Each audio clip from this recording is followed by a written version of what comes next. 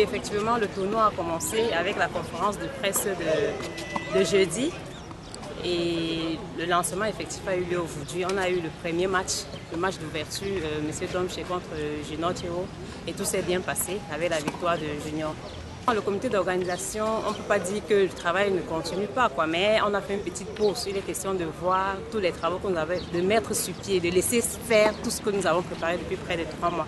Parce que je vous assure que ce n'était pas évident du tout. On a eu à travailler de longues, de longues heures.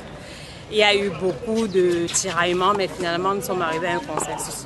Maintenant, les matchs ont démarré, ça s'enchaîne. Donc, après un match, l'autre suit, ainsi de suite. Nous sommes très contents, nous sommes fiers d'avoir euh, euh, euh, d'avoir mené à bien ce projet jusqu'à ce niveau. Ah non, non, j'avoue que dès le départ, ce n'était pas ça. Parce que normalement, quand on prépare un événement, euh, on s'imagine, on se fait juste un dessin de ce qui va se passer. Maintenant, quand les choses se mettent sur pied, on essaie de voir que ce à quoi on pensait, n'était pas exactement ça. Bon, c'est vrai que dans la commission logistique et restauration, nous avons tout mis sur pied pour que les tâches qui nous ont été assignées soient bien réalisées. Donc pour l'instant, la logistique continue son travail, à savoir le nettoyage des cours tous les jours, le désherbage et tout.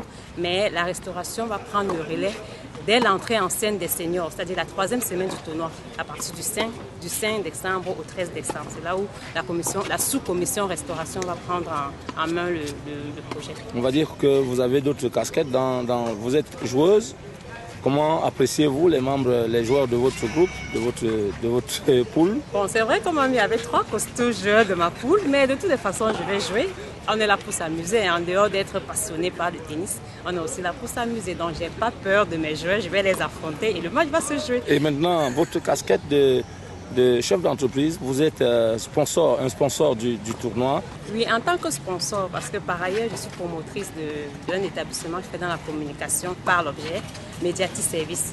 Bon, je, pense qu'un événement pareil, c'est le lieu de tous les promoteurs d'entreprise de faire un branding pour se faire connaître. C'est vrai que je suis membre du club et que certains membres sont déjà mes partenaires, mais il était important pour ceux à venir, parce qu'on sait qu'il y aura environ 15 000 spectateurs, de faire un branding à savoir les, les, qui ont été offerts par la société médiatique service. Nous entendons en semaine euh, mettre des banderoles. Il est question qu'on mette en exergue tous les produits et services fournis par Médiatique Service afin que nous n'en ignorions pas.